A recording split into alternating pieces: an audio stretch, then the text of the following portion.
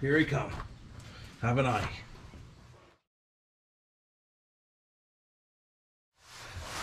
I don't know if a lot of you follow me on social media or not. How you doing today, by the way? My name is Bill Siff. Welcome to the BillSiff Show. I blew my drive shaft up in the old Chevy pickup there last week.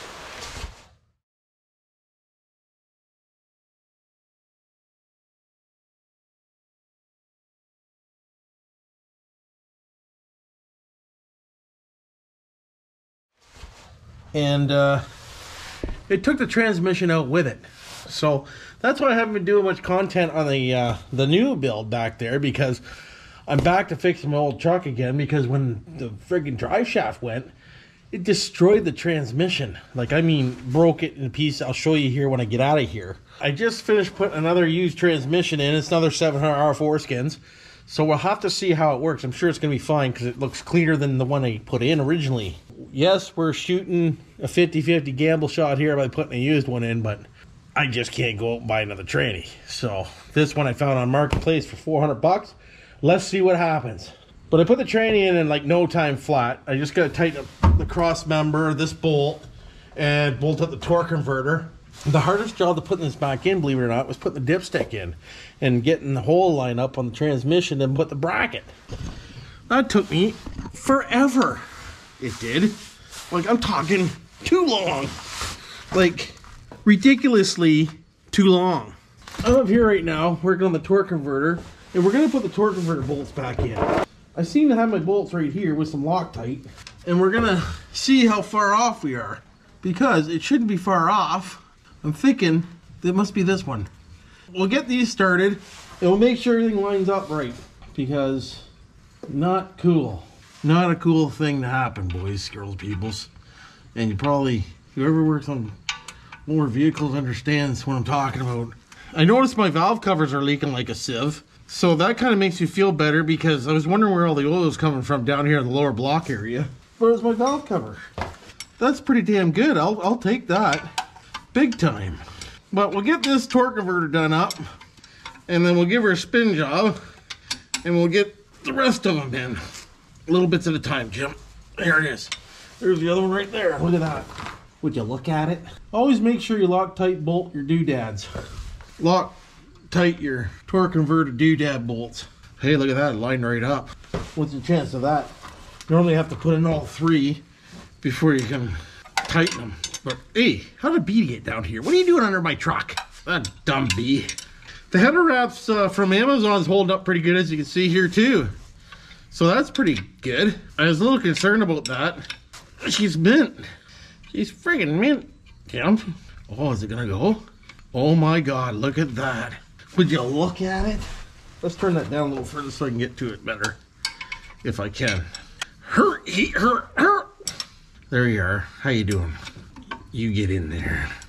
Thank God when my tranny went sideways in the tunnel here, it didn't bend my flex plate or anything, so that's a good thing.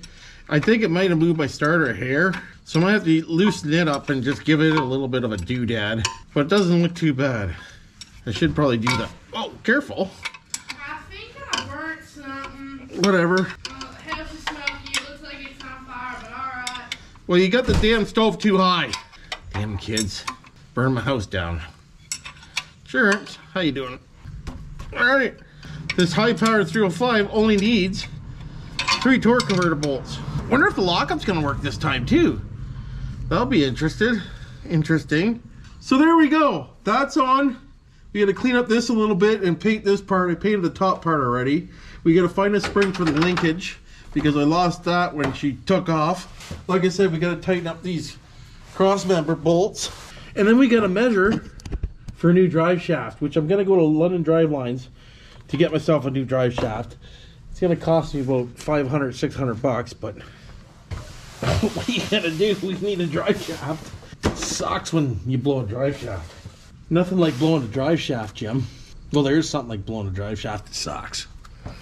So, there you go. Now you know what it's like to blow a drive shaft. I hope I don't get demonetized because I'm showing off my belly here. But I can't help it. My shirt's riding up. Jim, I got a shirt that's riding, Captain. What am I looking for? I don't know. Let's get out and look. I bought these nuts and bolts from TSC, well, Peavey Mart, Farmer's Outlet, whatever the heck you want to call it. They're out of the same bin, but we got a 5 8 head with an 18 mil nut. Figure that one out. I sure the hell can't figure that one out. But it is what it is. Oh, yeah. Yeah. Ow. How you doing? Ooh. Ooh. Ooh. Ooh. Uh. Oh, yeah. I like saying oh, yeah. Oh, yeah. Oh. Ow. Oh, yeah. Ouch. Cross member tight. Now we gotta loosen the bolts up on the tranny mount because it's too far forward. And we gotta slide it back. Just a little bit. It's actually a really nice night out tonight, thank God, because it was hot. And I wouldn't be under here. I took three days off from doing this. I threw the tranny in one night after work. And I was getting sweating and I was getting eaten by mosquitoes. The mosquitoes are awful this year. Let me know if they're awful where you are. So, holy, can't move my engine. Oh, that's heavy. Her. Oh, yeah. Her, not happening. Hold on. Hold together. Hope I don't have this mount on backwards. Why is it so tight? Well, you know, you got your mount on backwards there, Jim. Ah, for dick sucker sakes, eh? Why wouldn't I have it on backwards? Her, her, oh, her, her, him. i Tell you one thing, that engine do not want to move. I might put my jack under here and jack that up and check it because it seems awful tight. It shouldn't be that tight. Let's see what we can find out. Right about there. Up, up, deep, up, up. Oh yeah. Look at that speed action. Okay, wait a minute. Not on that part. Right there. Oh yeah. Hi. Uh oh. Fuck off. Ricky. Holy. There we go. Centered it is. Boom. All right, so now we're good. We know we're not too wedged. So now we can tighten the bolt back up on the mount. There's a nut. There's a washer for the transmission bolt. Now I just gotta find the nut for it. Let's try to find a nut. I guess it's gotta be here somewhere. Lay this out of the way and have a boo. Can you see it? I can't. Frig, where are you? No, no, no, under here. No. What the F? I know I didn't pick it up. There it is. I see it. Probably quicker to go this way to get it. Here it is. Yep, that's her. Please be the same, please. Of course it's bigger. One bigger. Why wouldn't it be? Did you miss me? Probably not. Keep dropping my nuts. My nuts. Do, do, do, do, do. My nuts.